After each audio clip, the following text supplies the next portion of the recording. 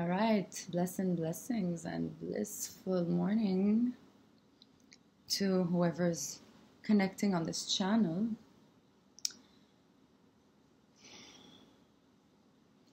So I woke up this morning with a piercing thought, right? Womanhood. When are we ever going to stick together? Really? When are we when are we women ever going to stand up for one another? And the best part is when there's a man around.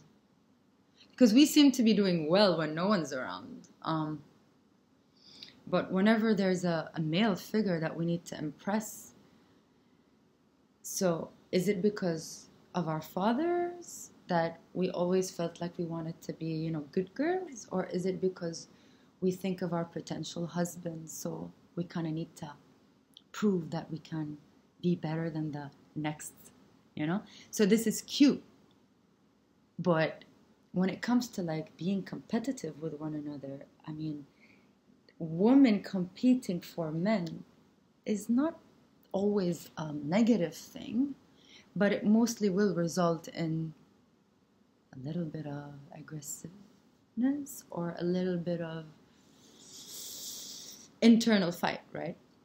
So that being said, um, I would love to see women come together, especially nowadays. Um, today is the 26th of May, 2020, and and I'm just going live just to express that feeling and just to say, ladies, we can stick together. I mean, we hear about women doing these circles and healings and being so spiritual and being a little picky picky about it and I mean, you know, you can be a snowflake all you want. Uh, you can be Elsa and freeze the hell out of out of the world.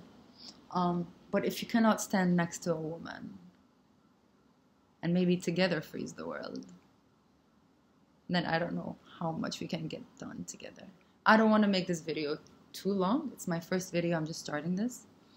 But just this is the thought of the day and and I hope one day we can find more cooperation between one another and no matter what color no matter what race um, no matter who's around.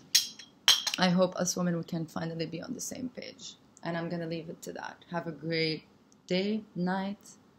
See you when the sun rises